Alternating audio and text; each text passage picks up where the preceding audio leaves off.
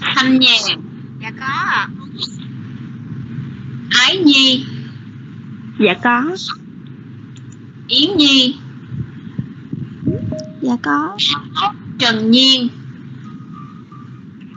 Mỹ Nhung Dạ có. Thiên Phú Dạ có. Duy Phú Dạ có. Lan Phương Lan Phương Action Hà Quyên Dạ có. Túc Tài Dạ có em. Như Tâm Dạ có. à, Phương Quyên để Quyên đọc Dạ có ạ.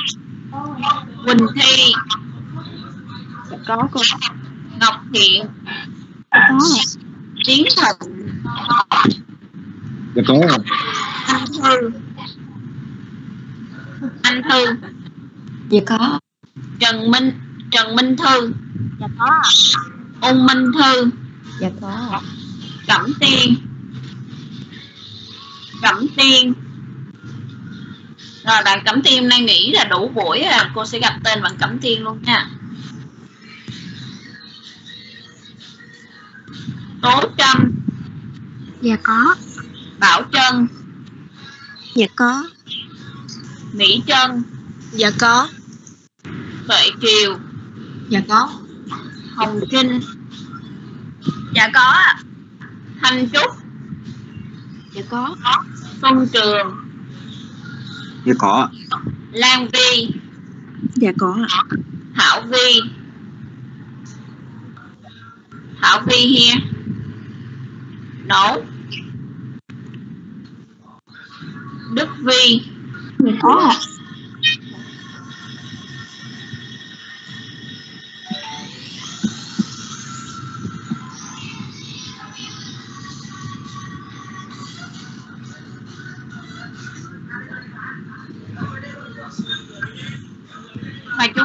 Mỗi ngày cô điểm danh cô đều để cho các bạn cô xem màn hình các bạn thấy và các bạn chú ý cái cột của mình, cái cột vắng bao nhiêu tiết thì nhớ check cho đủ nha.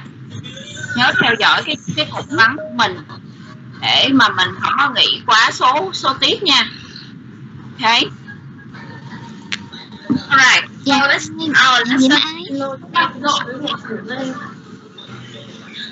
không thấy có dấu hiệu là con tỉnh đâu Okay, so um, let's continue what we have done last uh, before the Tết holiday. Okay. Rồi, trước tiên chúng ta sẽ review lại những gì chúng ta đã học trong 3 tuần trước Tết và sau đó chúng ta sẽ tiếp tục cái công việc của cái cái research của chúng ta. Okay.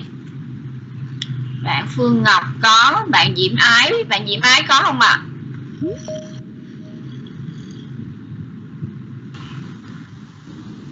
Dạ cô. Bạn Diễm Ái có mạng bạn đang lát đó cô, bạn không mở mic được. Rồi chừng nào bạn vào đi rồi bạn lên tiếng rồi cô điểm danh chứ không có điểm danh giùm bạn được. Cô, cô Diễm Ái có cô, em có cô? Rồi điểm danh cho Diễm Ái. Dạ. Cô.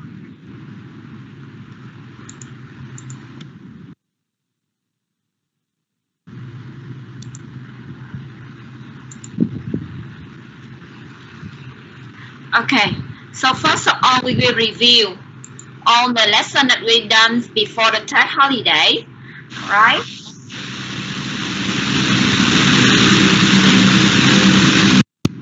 To discuss in your group, okay? So uh, before the TED holiday, we learn about doing research and you try to define your project, okay? And we talk about the five WX, right? The first one is what, right? So what do you want to research? What do you want to find out? The second, why? Why do you want to know that problem? And next is who. Who will be related in your research? Next is where. Where will you conduct your research? And finally, when. When you conduct your research? Okay. And uh, you have worked in your group. Okay. You have worked in your group to de- decide what you want to do your research on. All right. and you start choosing your topic đúng không ạ trước tới là chúng ta đã bắt đầu chúng ta chọn cái topic của chúng ta nghiên cứu rồi ok and then I ask you to problematize your topic ok, các bạn cũng đi tìm những cái thông tin liên quan đến topic của các bạn, những cái con số liên quan đến cái topic của các bạn. Alright this is problematization of the issue. Okay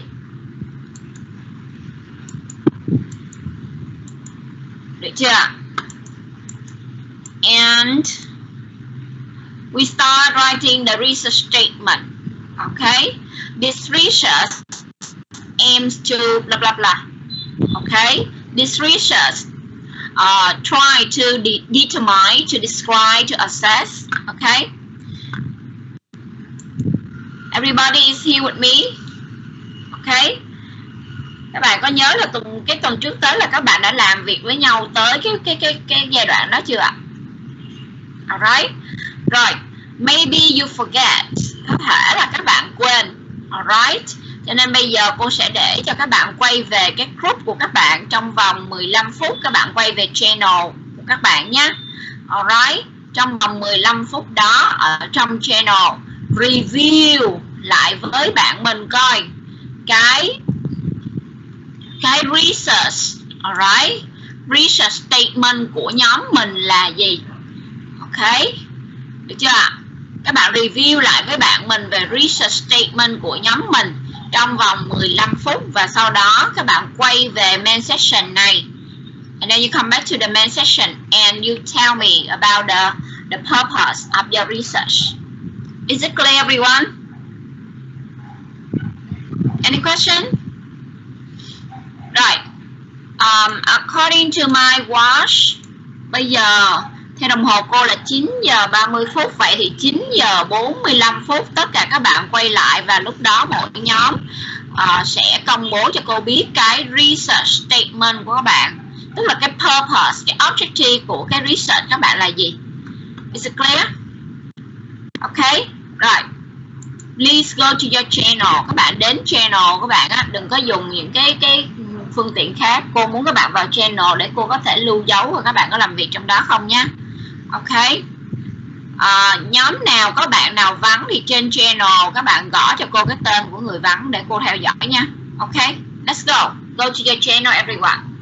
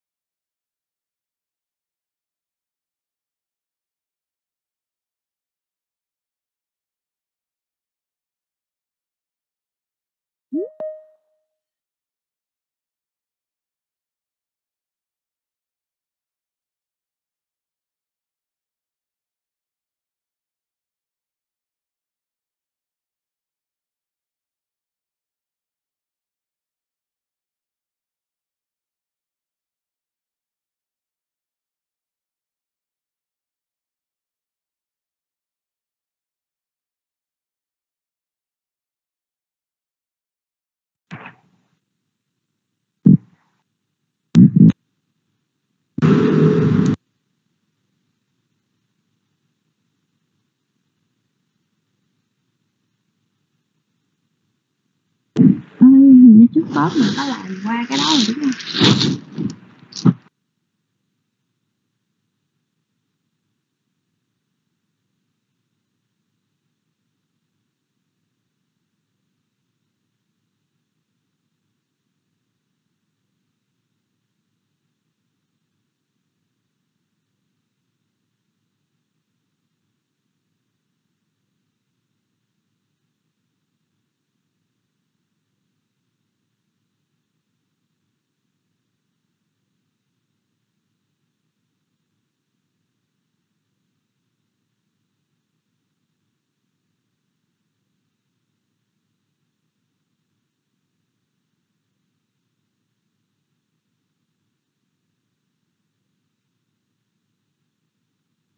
Hello, mọi người. Nghe tôi nói không? Trước Tết hình như mình có làm qua rồi, đúng không?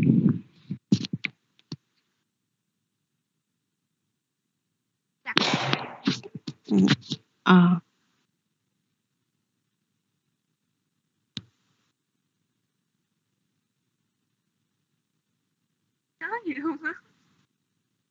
Bây giờ mình mò vô channel mình coi chứ không nhớ được đâu channel chắc có lưu lại á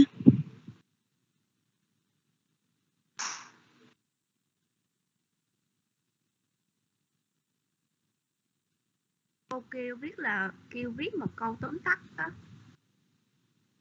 Ờ. như vậy tại-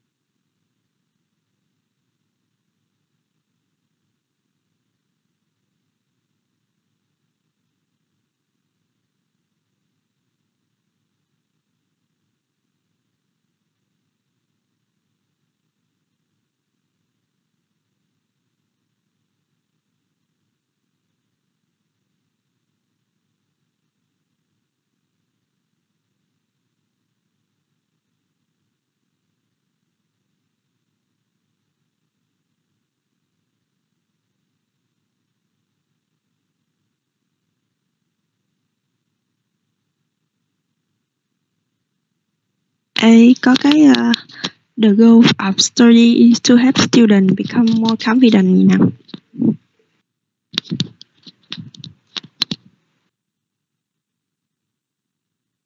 Là làm giống vậy á hả?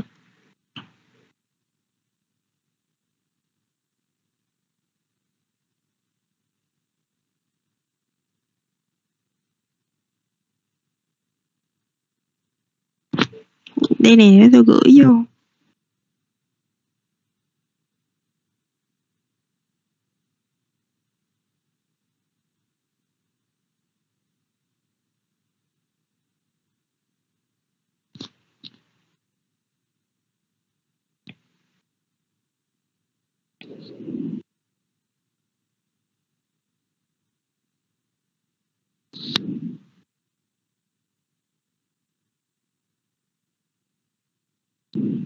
Bữa mình có viết một cái tương tự á. Nè, Của ờ, Thanh Nhàn thì phải.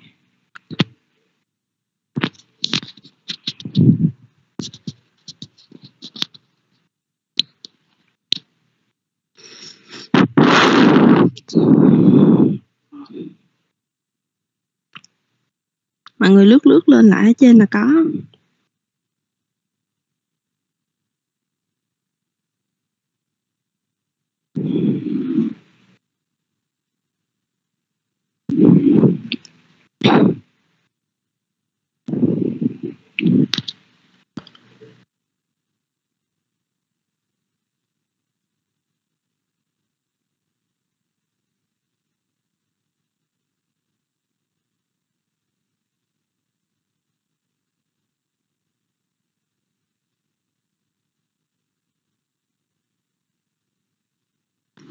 Chọn cái đó hay là mình nghĩ ra một cái khác. Sắp hết giờ rồi.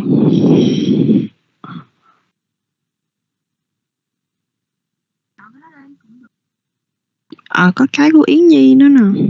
Cái cóc qua luôn. Cái quyển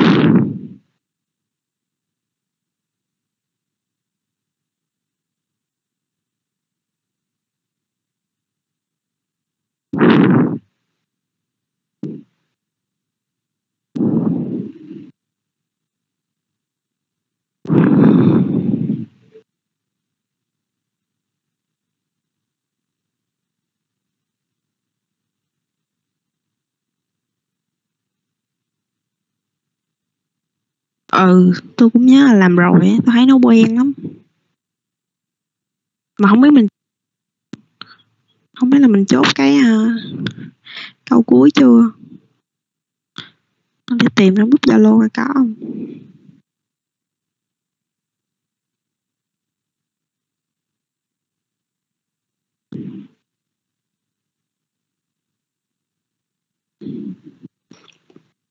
Mà mình viết hình như là phải kèm cái uh, em chu gì á.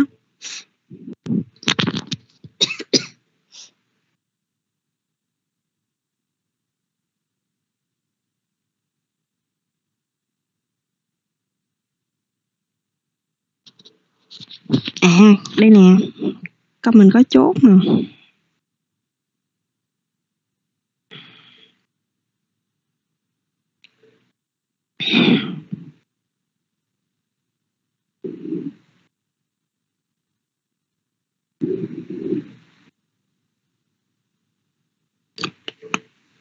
Ờ, mới gửi trên trên kênh á tại tôi lướt trên group zalo thấy. Ví dụ mai mốt mình chốt cái gì thì mình mình mình ghi vô trong zalo cho chắc.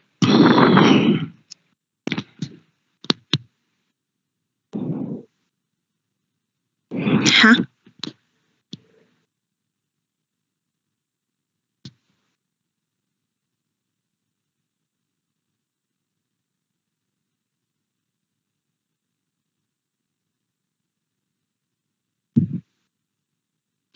Ờ không quay lại lớp đi.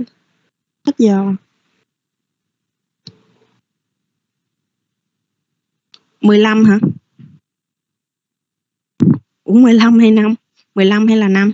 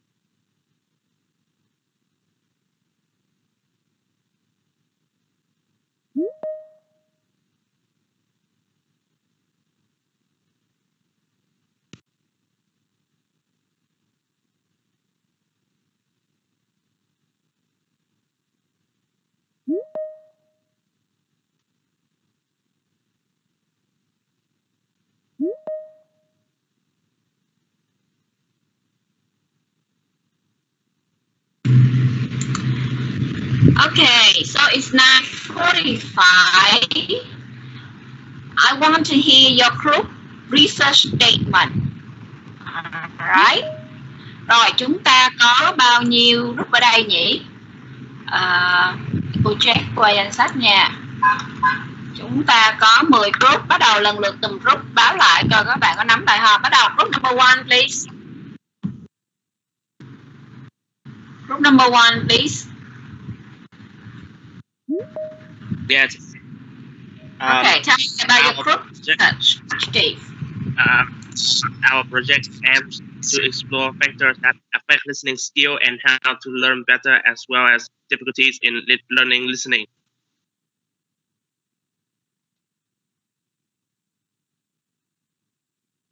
Hết rồi. Cô, nghe gì không cô? Yes, yes. How about group number two? Group number one, okay. It's clear. Now group number two, please.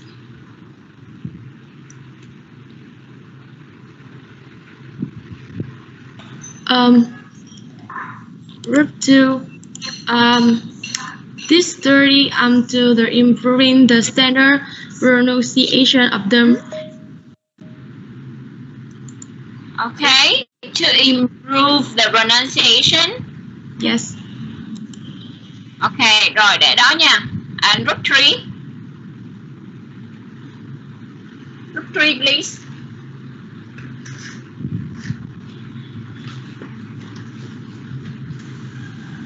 Yes, miss. Um, uh, our, our study is about um, how to improve the pronunciation uh, for uh, the English major student and the uh, the the the normal student who not um, study English as the main subject. Okay, thank you. Cô cô cô ơi, cho, cho em cho em em lộn group cô em cũng là group 3 em em nhầm em là group 4 cô. Okay, rồi về group two đâu ạ? Uh, group two, the main goals of this study to have first years uh, students realize what make uh, they are making in pronunciation. Then we uh, will give some solution to have learner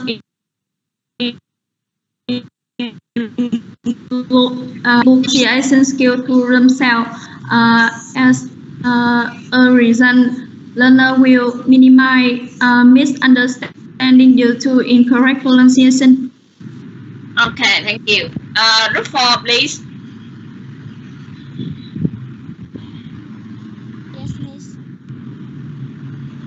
Uh, our research aims to find out the main problems and challenges of interpreting subjects. Then we explore some solutions to help students learn interpreting subject more efficient and easier. Okay, thank you. How about group five?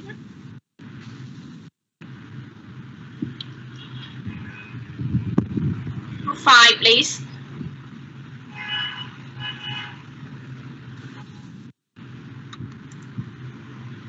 Five không có ai hết đánh đúng không? Yes.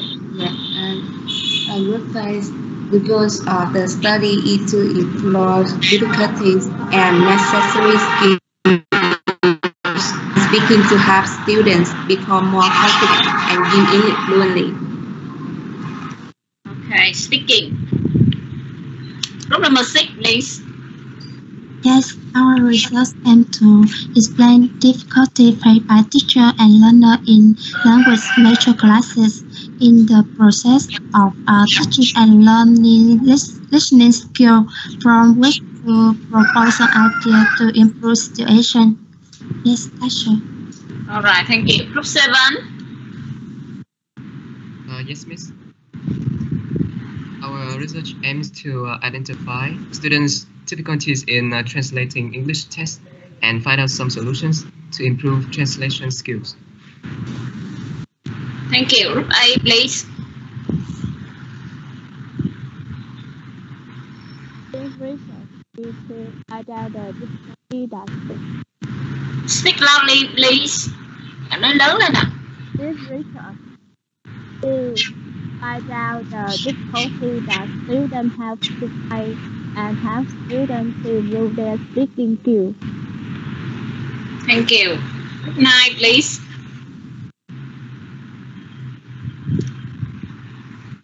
Good night, please.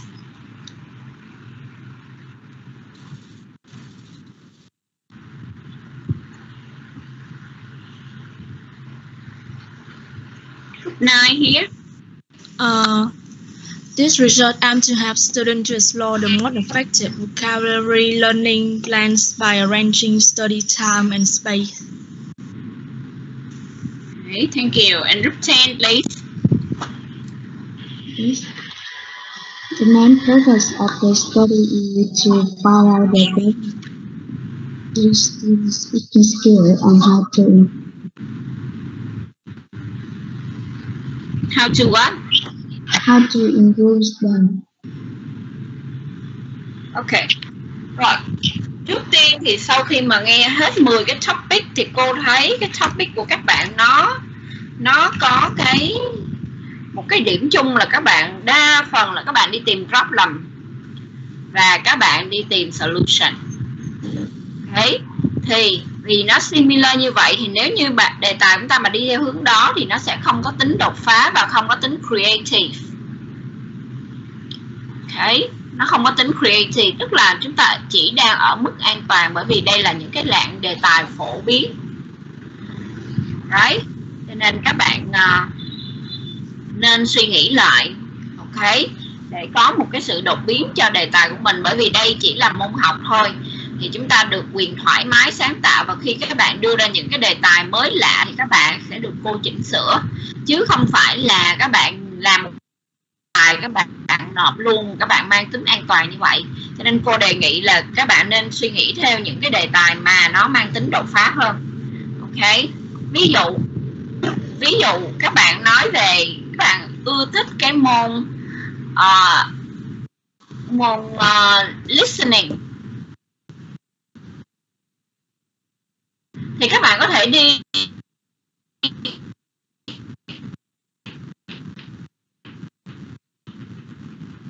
khai thác về những cái kiếp là bởi vì dạng đề tài này nó đã được được được được uh, nghiên cứu rất rất nhiều rồi. Ok? Cho nên những đề tài này cô đề nghị các bạn nên thay đổi ok? Để cho có có tính creative trong cái nghiên cứu của mình. Ví dụ các bạn nói là các bạn nghiên cứu về listening là các bạn yêu thích. Thì trong listening nó có cái gì? Đấy, trong listening nó có cái gì?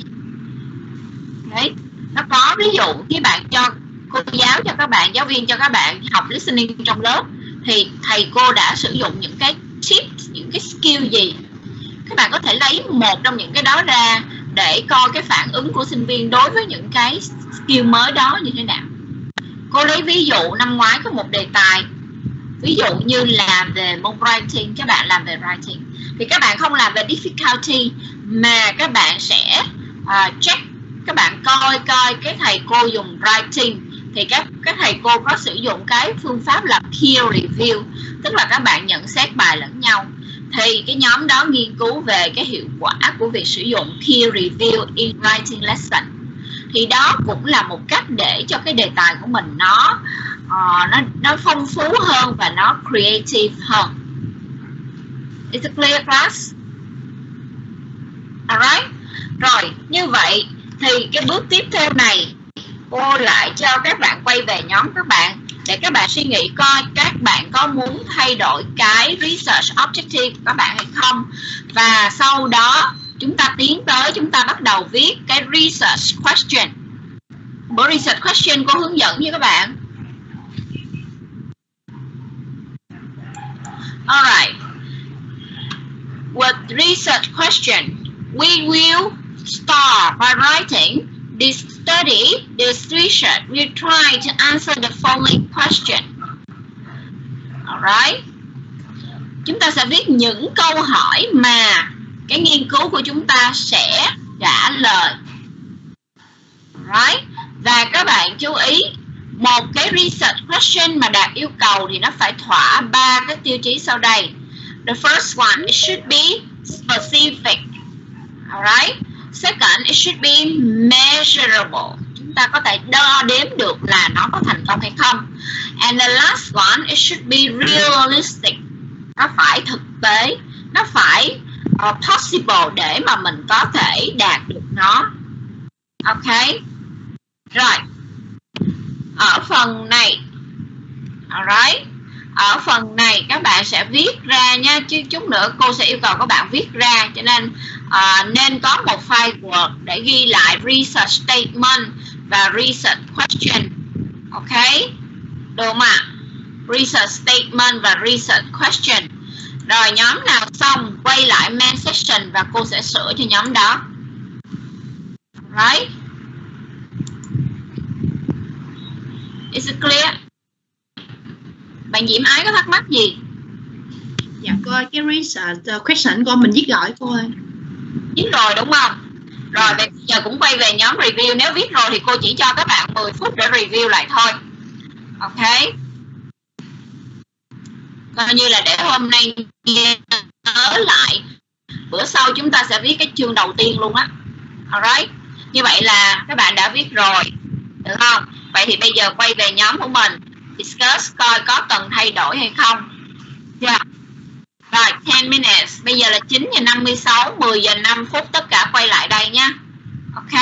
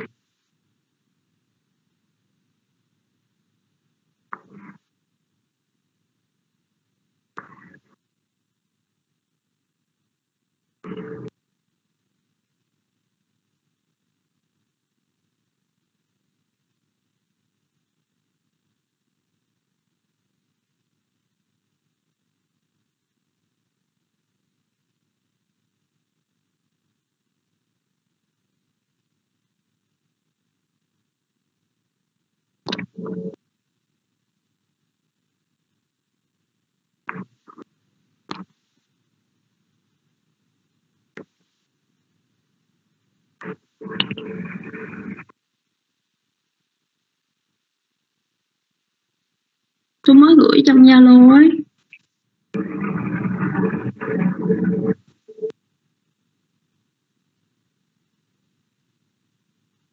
Như câu đó cô có sửa cho mình đúng không ta? Ờ mà ý là mình có muốn làm đề tài nó chi tiết hơn không? Hay là vẫn giữ như vậy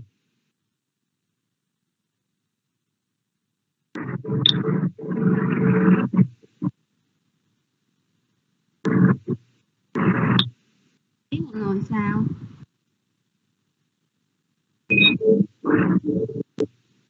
Kiểu như mình làm về speaking thì trong speaking nó có những cái mẹo gì đấy? Mình sẽ khảo sát về một một, một trong những cái mẹo đó.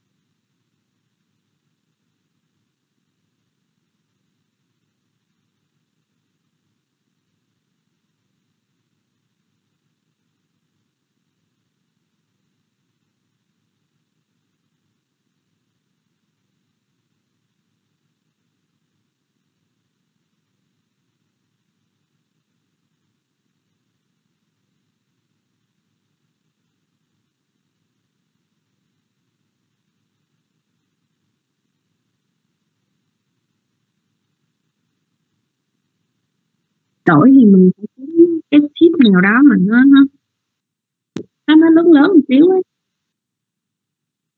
Mới có nhiều cái để nói.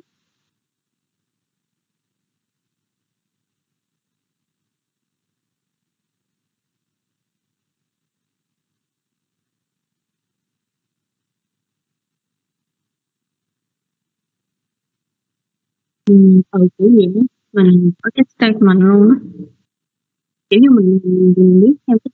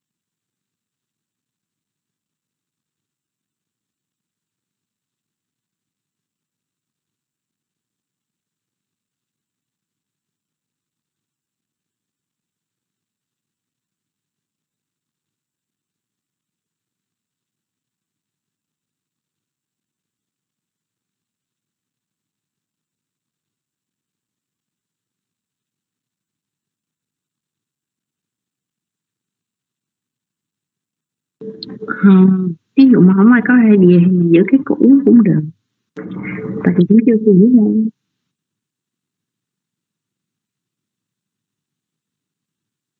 Tôi có ấy trong Zalo á, xíu lụm cái đó mình gửi cô luôn đi, khỏi làm đó.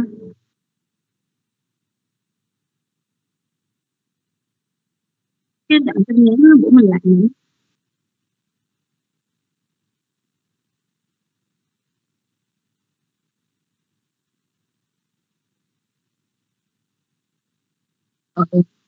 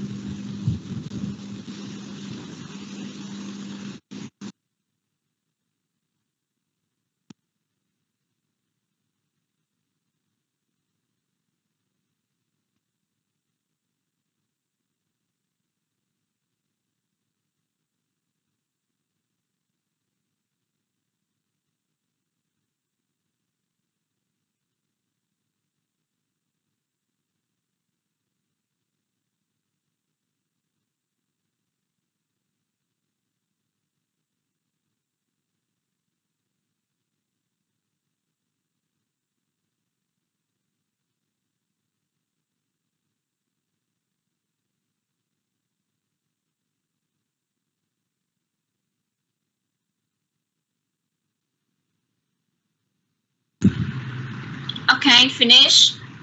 Rồi cô sẽ mời khoảng hai nhóm các bạn sẽ present lại cho cô xem cái uh, research statement và research question. Alright. Uh, group number three, please. Group three đi.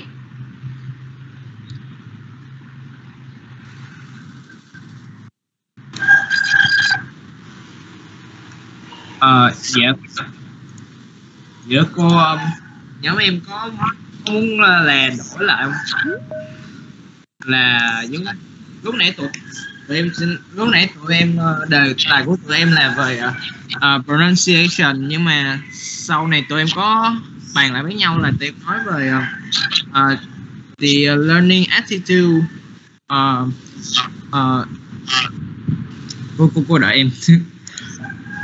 Các bạn share màn hình đi. Hồi nãy cô nói các bạn gõ ra tất cả những cái đó là các bạn share màn hình còn nếu mà không share được thì uh, gõ lên chat box cho cô nhìn thấy tại research question thì phải nhìn đọc được mới được. Group 3 xong rồi cô sẽ mời group 7 nha. Group 7 chuẩn bị trước nha.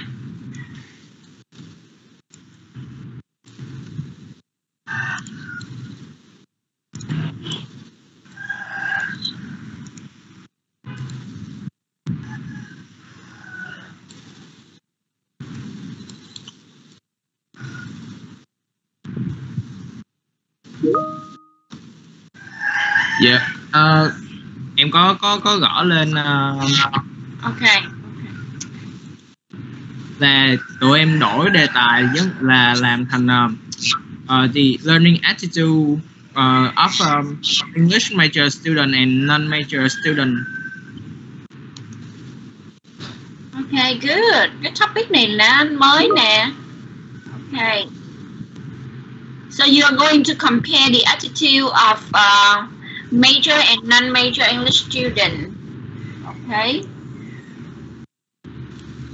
How do learning attitude affect these two groups?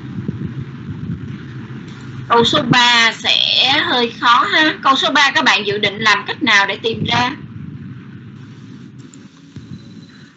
Dạ giống như là em nghĩ là uh, uh, nhìn qua cái à, quá trình hay là cái kết quả học tập đó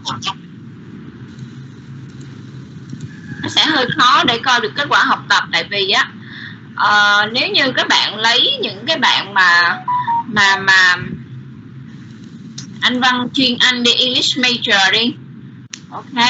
Thì cái kết quả của các bạn là ở từng kỹ năng nghe nói đọc viết. Còn những bạn mà học non major English thì các bạn đó sẽ có tiếng có kết quả học tập là chỉ có môn tiếng Anh thôi. Thì khi chúng ta so sánh thì nó sẽ hơi bị khó nha.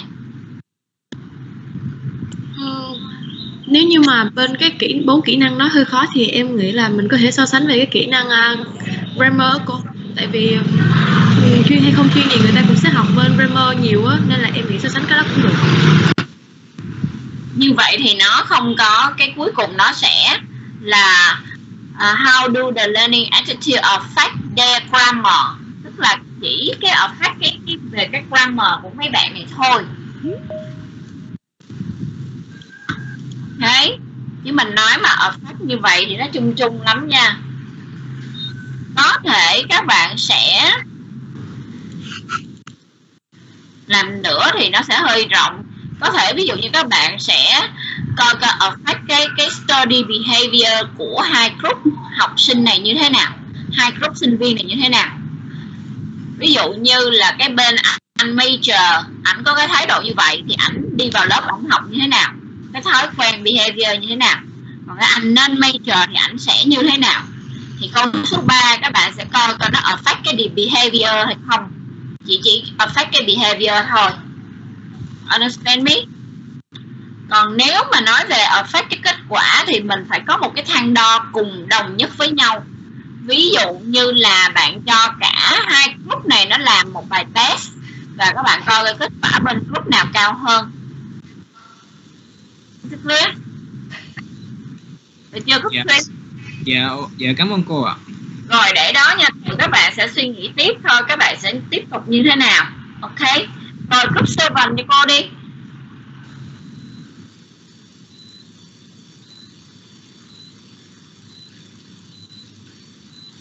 Group 7.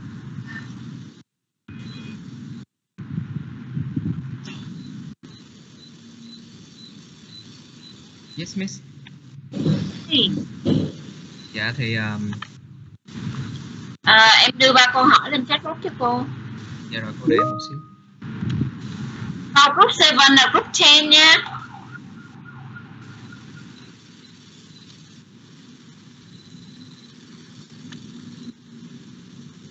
Trong khi đợi group 7 thì cô thấy Như Tâm là group mấy là Như Tâm? À như tâm là group uh, seven luôn nghe ấy cô. Rồi vậy thôi cô đã thấy rồi Như Tâm đã gửi lên rồi đây nè.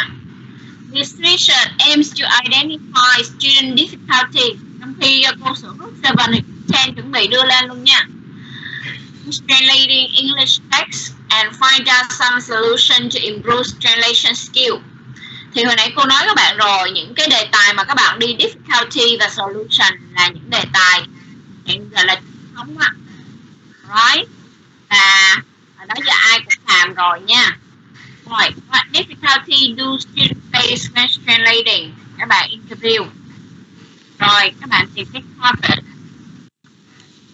Các bạn interview. Rồi, cuối cùng là solution.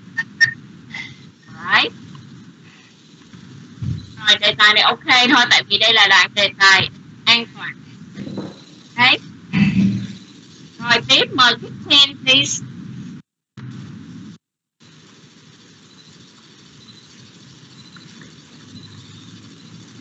Ten, please.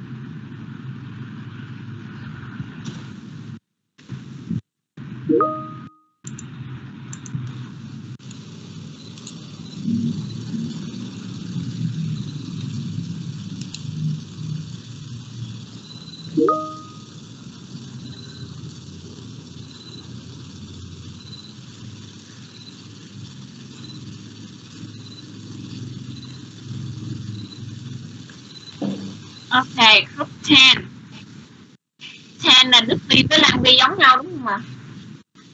One two phần trăm Right. Um, what are the related problems the student often face in speaking skill? What study habits affect student listening English speaking skill?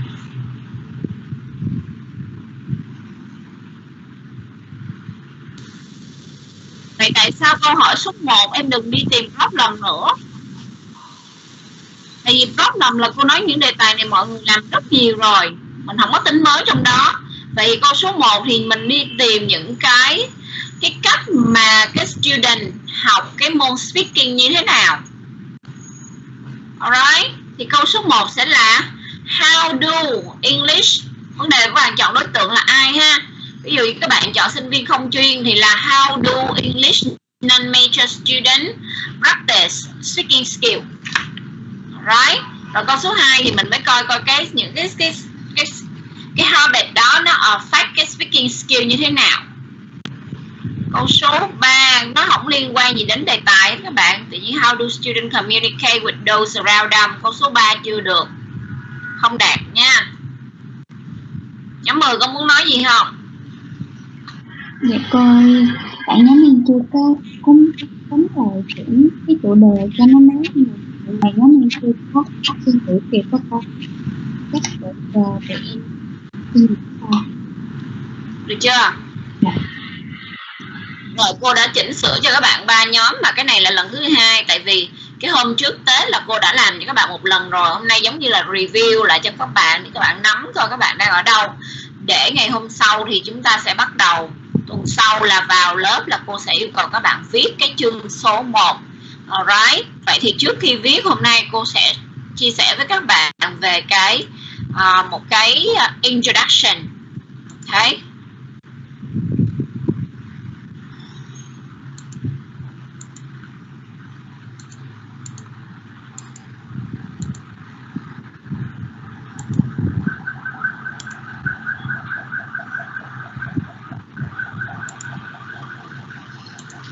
Okay, so you see on the screen, I am showing to you the chapter number one of our research.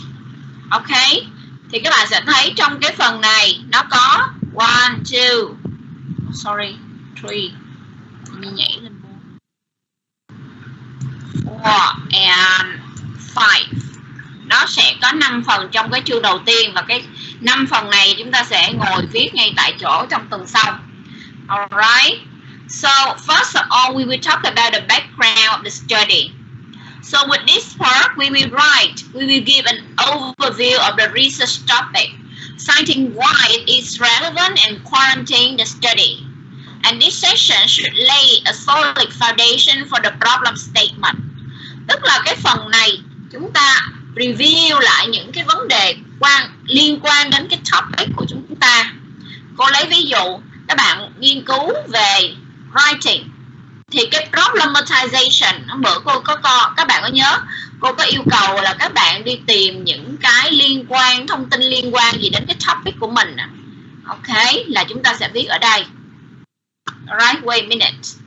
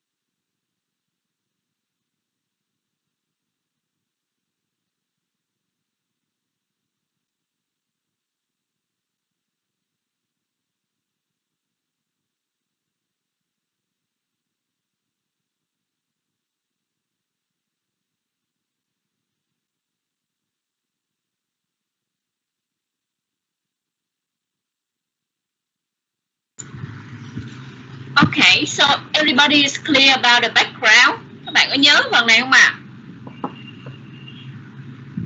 Alright. And then we move to the next part, which is the gap of the study. gap of the study is what is missing.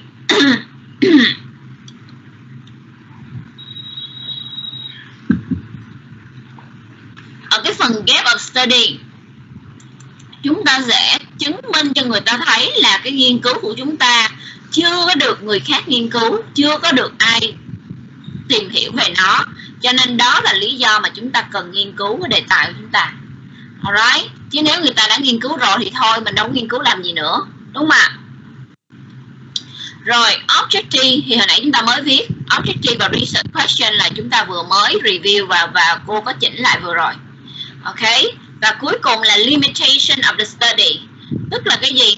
Là những cái chúng ta sẽ giới hạn đề tài của chúng ta nó ở đâu?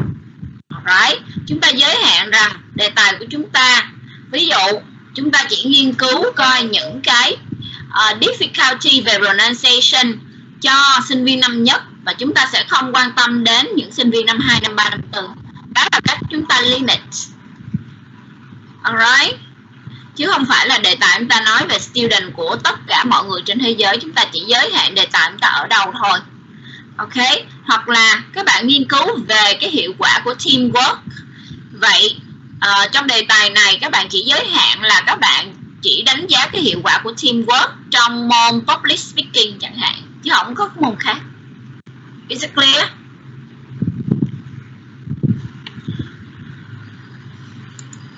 Alright, is it clear? Any question about chapter 1? Nếu các bạn không thắc mắc thì uh, cô sẽ để cho nhóm các bạn sẽ đi tìm right, đi tìm thông tin để coi coi có có gì thắc mắc hay không. Bởi vì tuần sau thì cô sẽ dành 3 tiếng cho các bạn viết nguyên cái chương này luôn. Alright. So I give you about 10 minutes to have a look and ask me any question that you have. Alright, 10 minutes, everyone. Cô cô nói lại giùm em cái câu ờ, cái phần 1.1 nha cô. Phần 1.1 là cái phần mà hôm bữa cô có cho các bạn làm á. Ờ.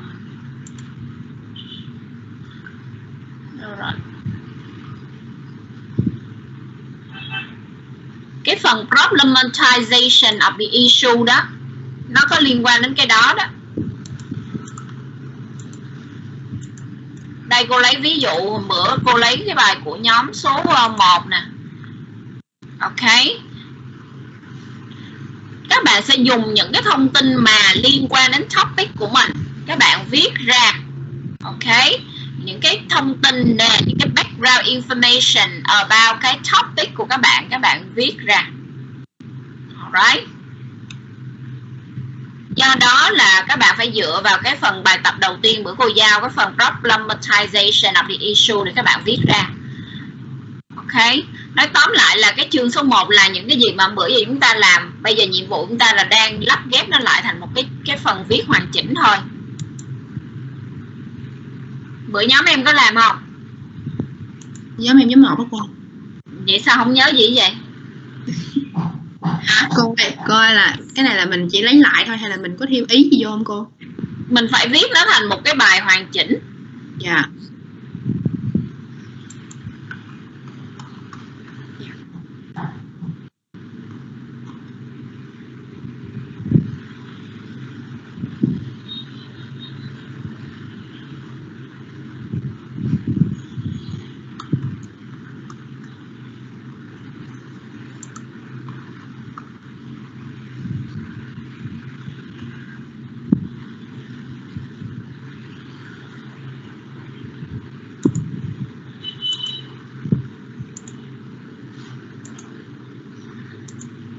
Cô lấy ví dụ một cái introduction, cái chương introduction nè. Alright.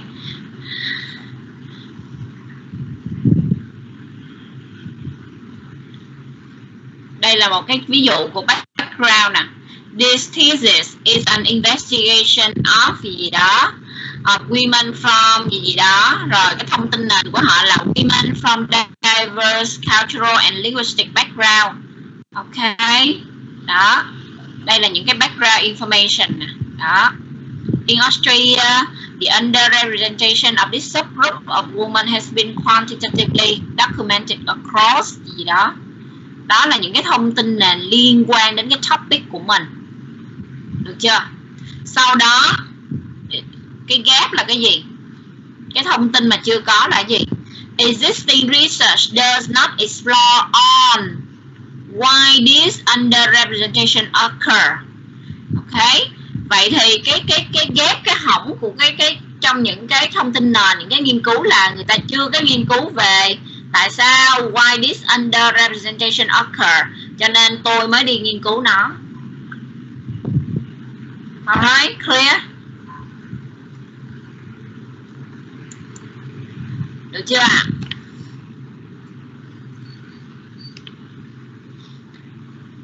Bây giờ các bạn phải nhìn lại cái phần cái chapter 1 mà cô vừa hồi nãy cô có gửi lên trên uh, cái phần uh, material của lớp nha. Các bạn có thể tự lấy lên đó xuống nha.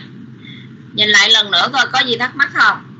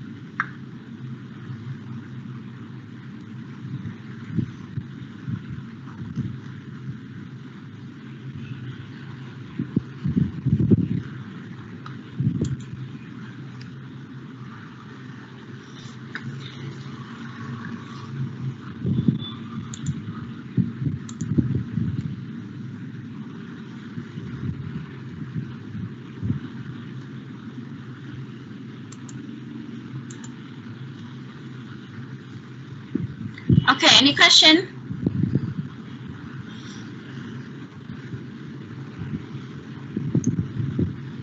Im lặng là sao? Im lặng là cảm thấy nó mơ hồ quá hay là im lặng là tụi em ok hết rồi?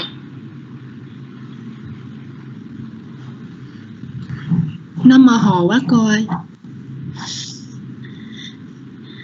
tại vì các bạn quên hết rồi ba tuần các bạn nghĩ các bạn quên hết rồi rồi bây giờ ha 10 phút quay về nhóm của mình thảo luận với nhau, coi từng phần tụi mình sẽ viết như thế nào và phần nào tụi mình chưa biết viết, nhóm mình chưa biết viết, thì quay lại hỏi cô. Được không ạ? Is it okay? Rồi, quay về nhóm mình 10 minutes. Bây giờ là 10 giờ 30 10 giờ 40 quay lại cho cô nha. Quickly.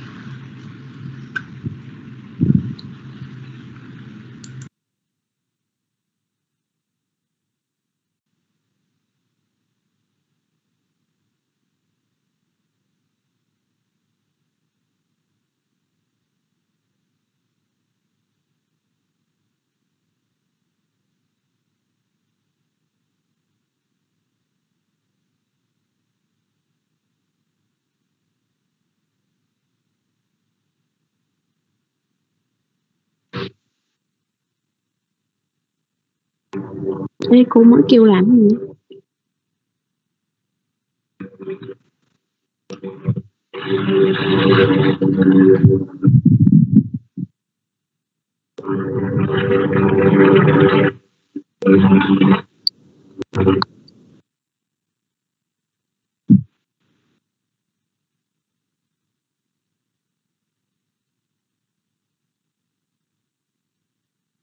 Ủa, cái này là bây giờ viết luôn hả? Tôi tưởng tuần sau mới viết. Hả?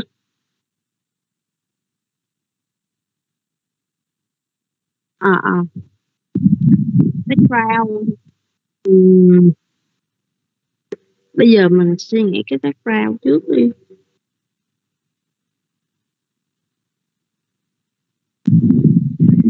Sao ta? Kiểu mình làm về đại học công nghiệp, đúng không?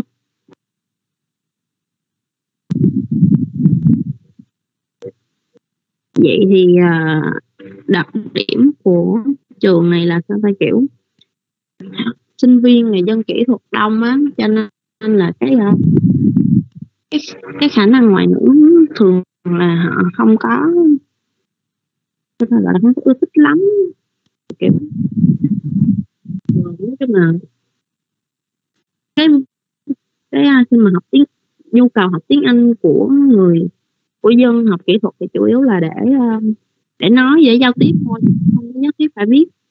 Thành mặt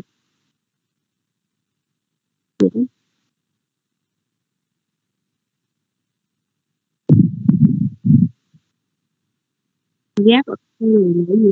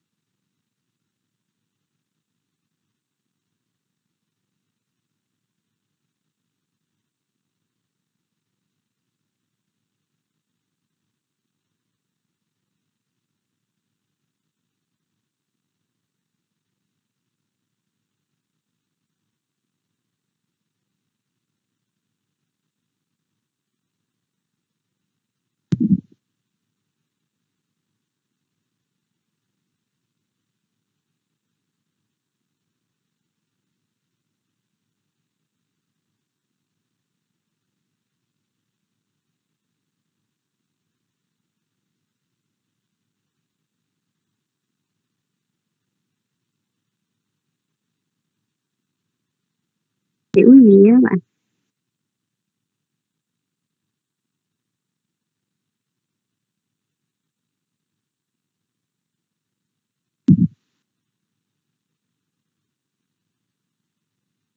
Ừ, là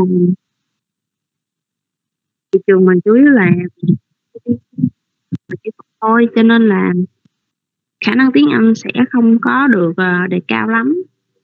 Thì nhu cầu nhu cầu học của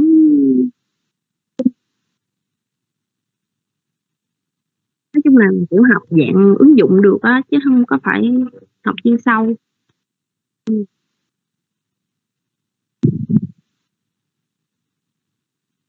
Ừ, cho nên là mình cái vấn đề kiểu hay bị lớn nhất là nói không tự tin á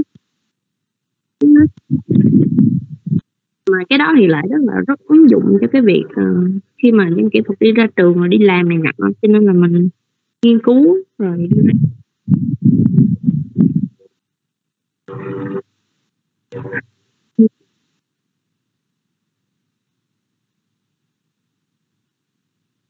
cái gì ghê vậy? Như á, là cái background á hồi nãy như có nghe á là lấy ở trong cái bài mà tuần đầu mình làm á nhưng làm ở trong Word ấy. Lấy ở trong đó ra rồi mình thêm ý mình vào ấy. Ghép vô là tại vì cái đó cái, cái phần đó mình đã làm rồi á. Nên là chỉ cần lấy mấy cái đó rồi mình ghép vô lại mình thêm ý vô thôi chứ không cần phải làm lại từ đầu á mọi người. Ê, mọi người nhớ cái bài tuần đầu mình làm là bài nào không? Không nhớ luôn. Nhiên có gửi ở trong uh, ở trên team đấy. Mà cái gap gap of study là cái gì vậy cái gap hồi nãy cô có nói là là mình chứng minh cái nghiên cứu của mình là chưa có ai nghiên cứu là mình là người nghiên cứu đấy. À. Cũng làm sao để chứng minh ra.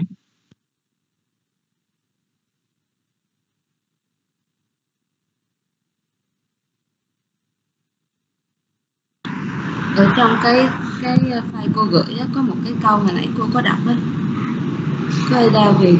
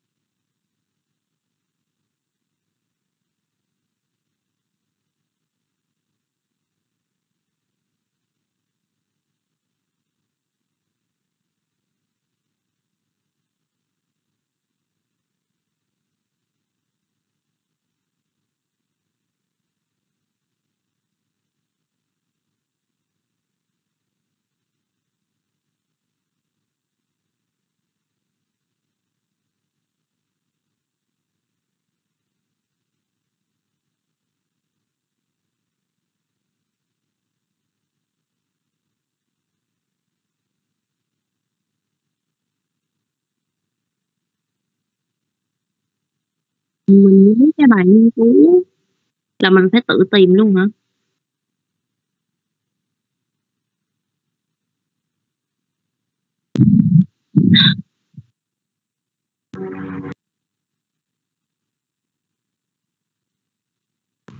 À, kiểu hồi kiểu một hồi lú luôn á.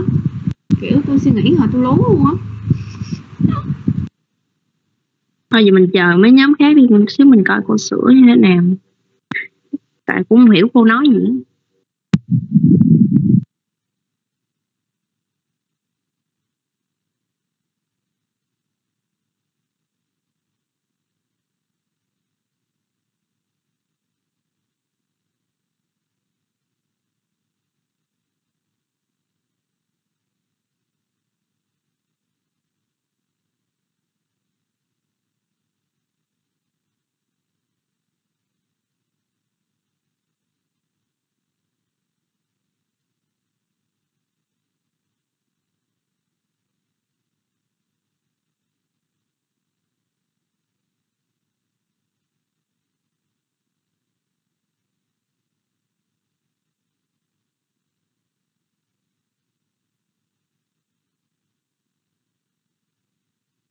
cái objective đó mình uh, mình lụm cái bài mà hôm bữa cô cho làm.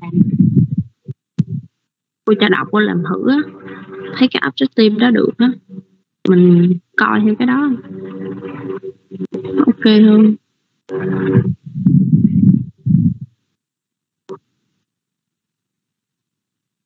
hình như tôi nhớ tôi có gửi vô lúc năm mà đó.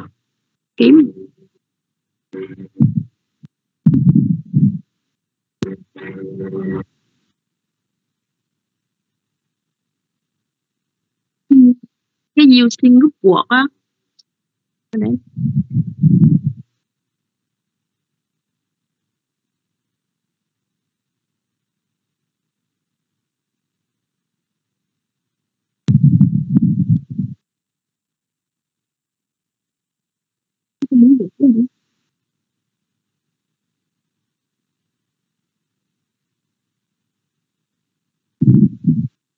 để quay lại lớp cô nên là nhóm đó mới nghiên cứu cái phần đó. Rồi cái đề tài của tụi em là đã có người nghiên cứu rồi thì sao? Cô đề tài của tụi em là cái gì?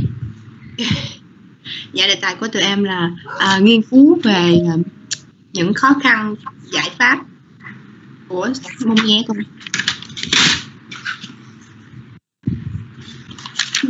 Cái problem thì đó cho nên cô mới nói là về nguyên tắc là cái phần khi mà cái nghiên cứu người ta đã làm rồi thì mình làm lại. Thì thì ví dụ như sau này tụi em đi làm nghiên cứu á mà tụi em xin đề tài á thì người ta sẽ không cấp cái cái cái nguồn vốn cho tụi em làm tại cái đề tài của em đã làm rồi. Ok?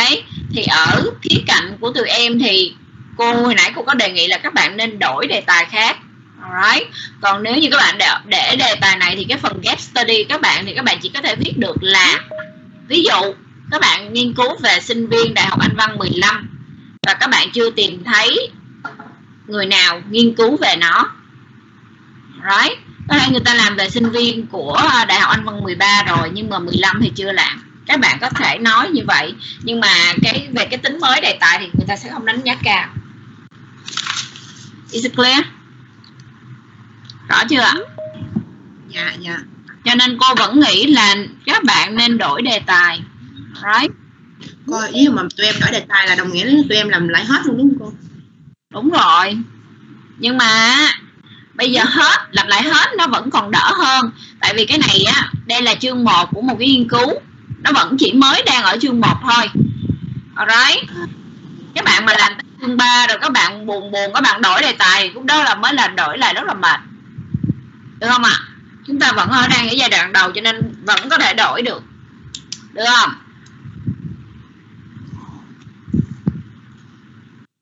Rồi, mời các nhóm khác. Không hỏi thì là sẽ bị thiệt thòi nha, tại vì tuần sau là cô để 3 tiết cho các bạn viết đó. Tại vì cô sẽ yêu cầu các bạn ngồi viết tại lớp, cô muốn nhìn thấy các bạn viết. Giống như là đang làm test đó các bạn sẽ viết và cô sẽ yêu cầu các bạn chia sẻ màn hình cho cô thấy các bạn đang viết tới đâu. Ok và cuối giờ là các bạn phải nộp cho cô mỗi nhóm một cái introduction. Cho nên hôm nay các bạn các bạn thấy rõ ràng năm cái phần này là cô hướng dẫn các bạn rõ hết rồi. Cho nên có, có thắc mắc chỗ nào thì hỏi còn không hỏi thì tuần sau sẽ bị thiệt thòi. Any more question?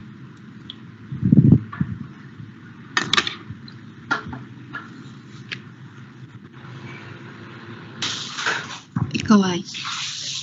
Rồi. Hỏi đi cái cái chỗ limitation đó cô là ngoài là cái um, giới hạn về cái đề tài đó cô là mình còn phải giới hạn về cái gì nữa cô? Tại em thấy ghi từ 1 đến 2 đoạn đó cô. Nên là em không biết ghi cái gì ở trỏng. Rồi các bạn đợi cho cô một phút ha. Cô sẽ tìm một cái ví dụ cái limitation cho các bạn xem. Dạ. các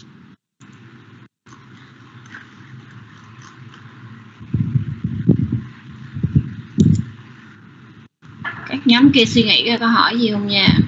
Cô đi tìm một cái limitation để cho nhóm. Các bạn nhìn thấy.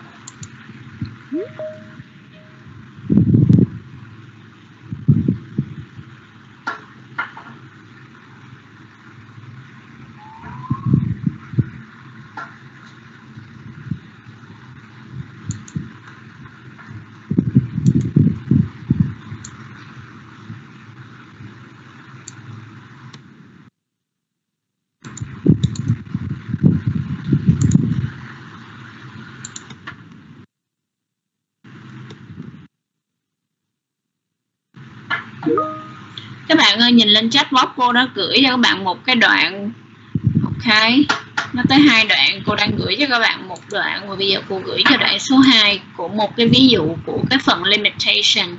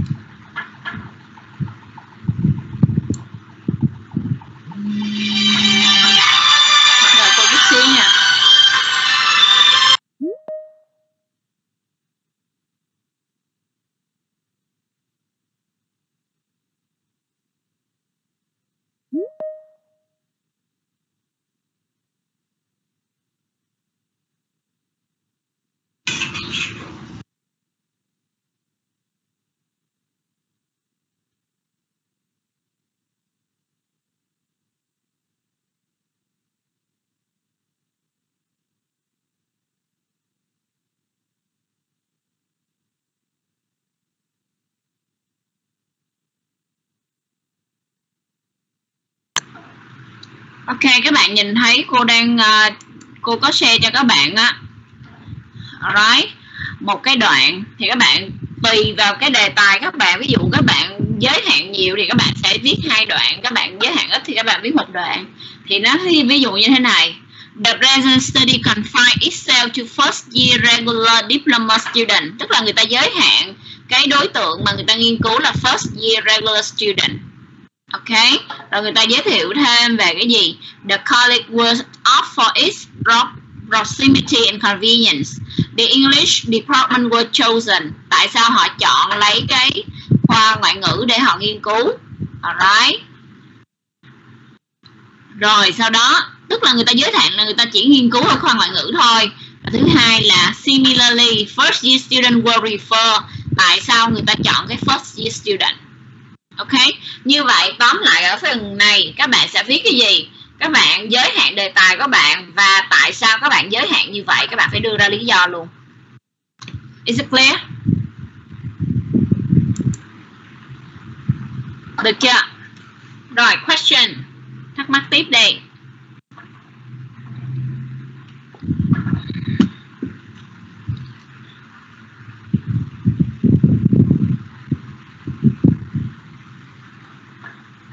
Rồi như vậy là 5 phần ổn rồi đúng không ạ?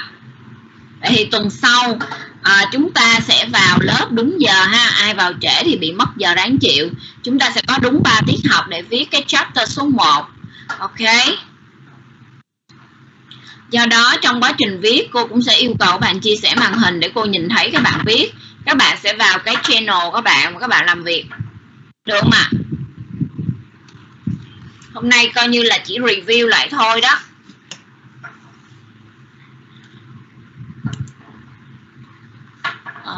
Cô sẽ ghi tên lại mấy bạn hôm nay vắng để gửi lên lại nha. Gia Mẫn Khánh My. Gia Mẫn Khánh My Lan Phương. Thảo Vi.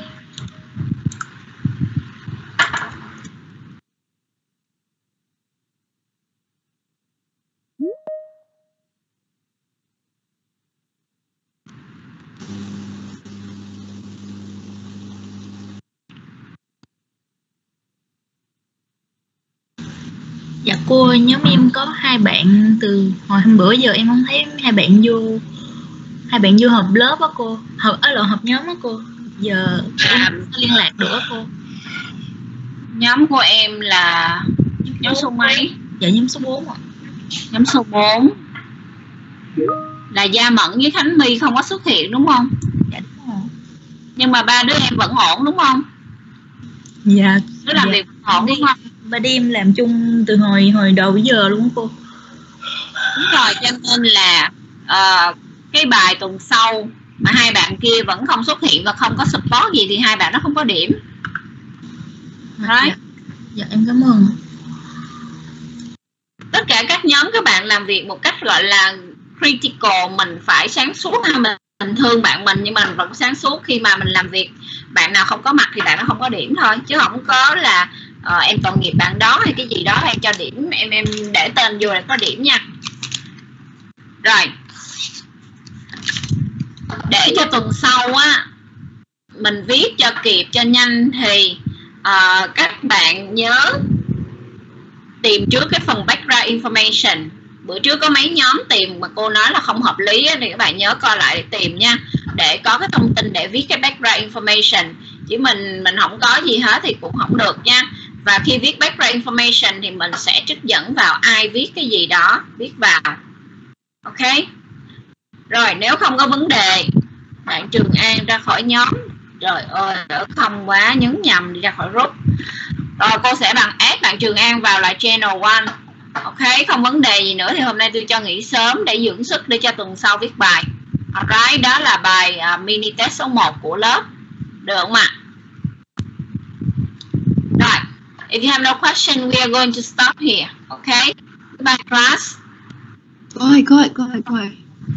sao? Cô ví dụ mà nhóm em mới cô ừm, muốn chuyển đề tài cô sau đó cái tụi em viết lại hết xong cái em gửi cho cô cô xem giùm em nha cô.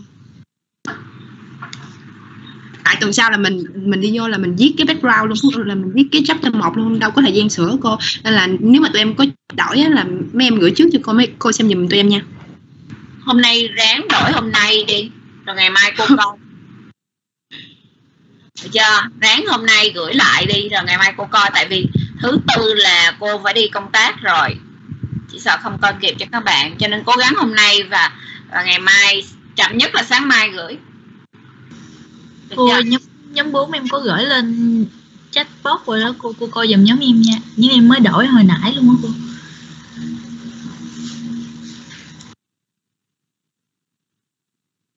rồi add bạn Trường An vô rồi rồi đó. Dạ em cảm ơn cô.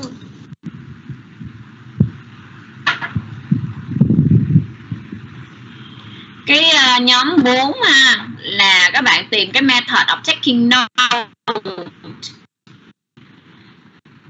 thì câu số 1 là ok câu số 2 thì nó lại không liên quan gì đến taking note hết á rồi câu số 3 thì nó lại đi ngược nha. Tại vì sao? Câu số 1 bạn nói bạn đi tìm cái difficulty. Câu số 3 bạn lại đi quay lại bạn hỏi nó có difficulty hay không? Thấy nó kỳ không? Dạ dạ nhóm em sẽ sửa lại. Right. Cho nên là các bạn có thể trước tiên là các bạn phải đặt câu số 1 trước là nó sinh viên có sử dụng cái cái uh, taking note khi mà học môn interpretation hay không? Chắc là có đúng không? Cho nên câu hỏi đầu tiên phải là how. Họ sử dụng cái taking note khi mà học studying interpretation interpreting như thế nào? Right rồi câu số 2 là what are the difficulty? Ok. Hoặc là câu số 2 là có difficulty hay không? Ok? Và nếu có là nó là cái gì? Rồi câu số 3 tự nghĩ ra tiếp. Group 4 ok? Được chưa group Dạ. 4 dạ được rồi em cảm ơn cô. Các bạn sẽ thấy với với môn này các bạn sẽ phải tự lực rất là nhiều bởi vì nó là môn kỹ năng viết. Ok? Và mặc định lẽ ra là mặc định là các bạn học môn phương pháp nghiên cứu khoa học. Trước đây là các bạn đã biết được nghiên cứu khoa học là cái gì? Tới giai đoạn này là cô chỉ hướng dẫn các bạn viết thôi đó. Nhưng mà hôm bữa hỏi thì không nhớ, cho nên cô lại phải review lại cho các bạn. Ok. Rồi, vậy nên chúng ta nghỉ nha, tuần sau bắt đầu vào và chuẩn bị tâm lý chúng ta viết. Còn nhóm nhóm nào muốn đổi đề tài thì trong vòng từ giờ đến tối gửi. Mai cô sẽ reply cho các bạn. Sáng mai cô dạy và chiều mai cô sẽ check cô chỉnh lại cho các bạn. Ok. Rồi goodbye class Em chào cô ạ. rồi Chào cô. Goodbye, Miss. Goodbye, Miss. ok